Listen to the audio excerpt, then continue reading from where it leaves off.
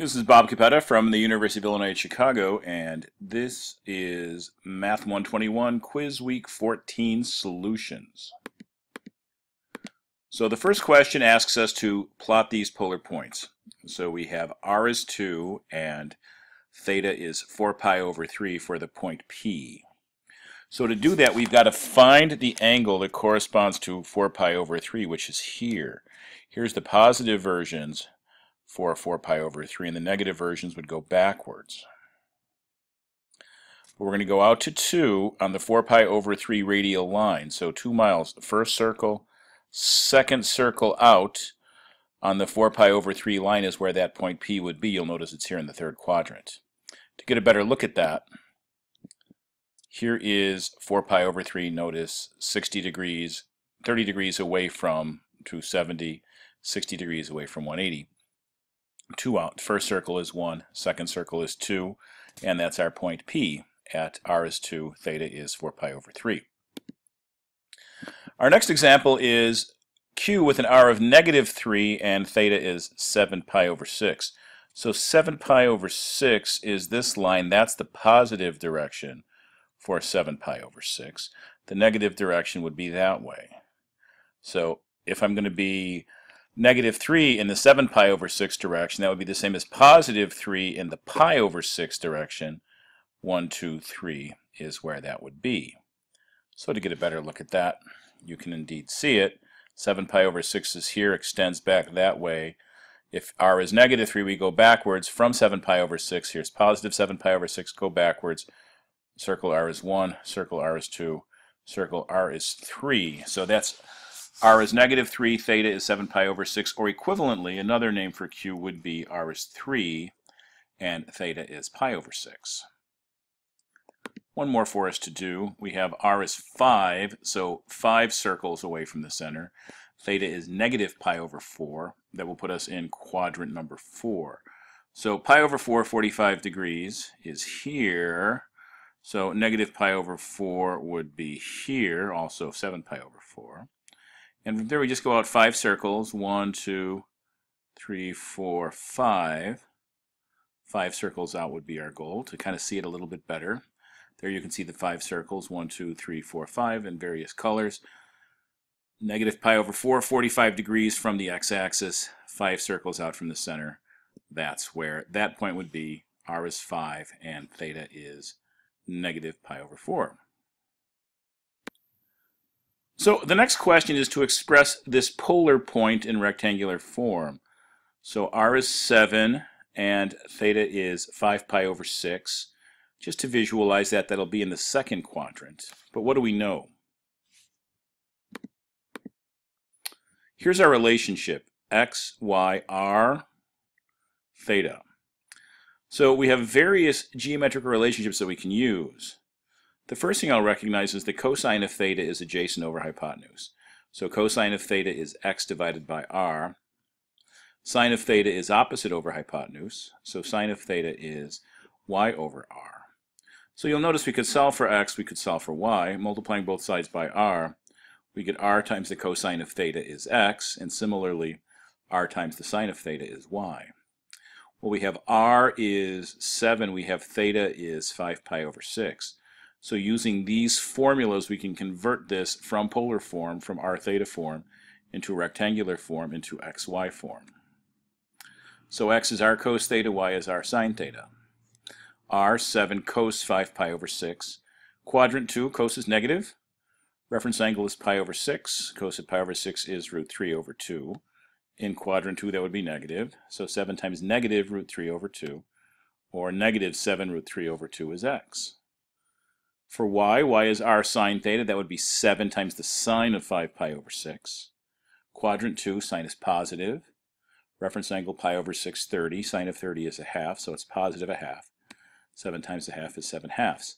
So if we have r theta form 7 5 pi over 6, that's equivalent to x being negative 7 root 3 over 2, and y being 7 over 2. Next example, we have point B, which is negative 3 pi over 4. So pi over 4 would be in the first quadrant. But the fact that it's negative 3, that makes me go backwards. Now I'm going to be in the third quadrant. So I expect both x and y to be negative. r cos theta is x, negative 3, cos pi over 4 is x. Cos of pi over 4 is root 2 over 2, so we get x is negative 3 root 2 over 2. x is negative as expected. y is r sine theta, so negative 3 times the sine of pi over 4. Negative 3 times root 2 over 2, or also negative 3 root 2 over 2. x is negative, y is negative. Indeed, that will be a third quadrant point. Next, we're going to take a look at uh, c is 6 and theta is negative pi over 3. That would put us in the fourth quadrant. We're measuring in the negative direction. That would be clockwise from 0. Same deal. Cosine of negative pi over 3, that's positive because it's in the fourth quadrant. Cosine of pi over 3 is a half. And we get x is 3. y is r sine theta. 6 times sine of negative pi over 3. Well, in the fourth quadrant, that would be negative. Sine of pi over 3 is root 3 over 2, but I would need negative root 3 over 2 if I'm in the fourth quadrant. 6 divided by 2 is 3. So we get negative 3 root 3 is y for that fourth quadrant polar point. Next, we want to convert equations to rectangular form. To do that, we need to take a look at the various relationships we have amongst the variables. How do we go from polar form to rectangular form and back? Well, we have a right triangle here. x squared plus y squared is r squared. That's important to know. Next, theta Theta is opposite over adjacent, so the tangent of theta will be y over x.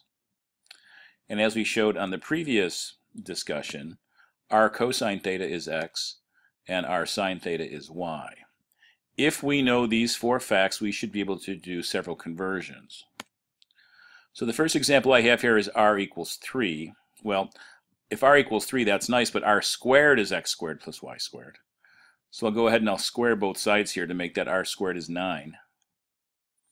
But if r squared is 9, I'll then replace r squared with x squared plus y squared. And we get the fact that we've converted r equals 3, a circle of radius 3, to x squared plus y squared equals 9, circle of radius 3 centered at the origin, as we know. Next example, a little more challenging. Theta is 5 pi over 6. I'm going to use this fact. I'm going to use the tangent of theta is y over x. So how am I going to do that? If theta is 5 pi over 6, tangent theta is tangent to 5 pi over 6. But what is tangent theta? Tangent theta is the same as y over x, so I can replace this left side with y over x. And the right side, what is the tangent to 5 pi over 6?